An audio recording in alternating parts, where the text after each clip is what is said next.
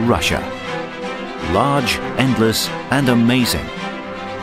Its territory and culture are so diverse that you can travel in Russia as often as possible, and every time you'll discover this country anew.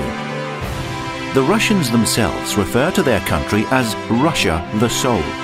Being the successor of the ancient Byzantine Empire, it is a country with a thousand-year-long history.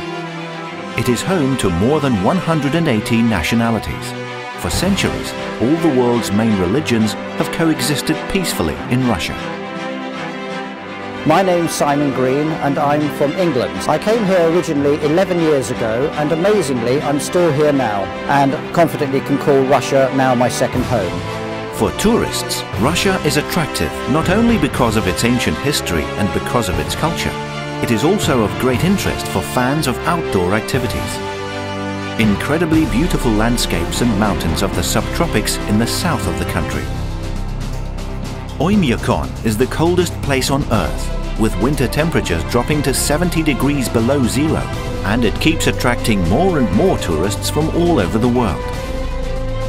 The Russian Tibet, Altai. The Russian North, the lower course of the Volga, Akhtuba, the hunting grounds of Siberia. The Russian capital, Moscow, is one of the largest megalopolises of the world smaller cities and population centres where the traditional ways of Russian life, folk, craft and art have been preserved, and thousands of square kilometres of yet unexplored land in the southeast of Russia where no man has ever set foot. There is no doubt that these vast territories and their variety have had their influence on the unique Russian character. Mi chiamo Giovanni Stornante e sono italiano. Country is very big and it offers a series of possibilities. You find art, you find landscape, you find nature, you find beautiful and deep-minded people that you want to get acquainted with. Russia. It covers nine time zones and 83 regions, the history, culture and residents of which are so different from each other. These are the elements that have shaped this amazing country. Let us begin our brief tour of the Russian regions.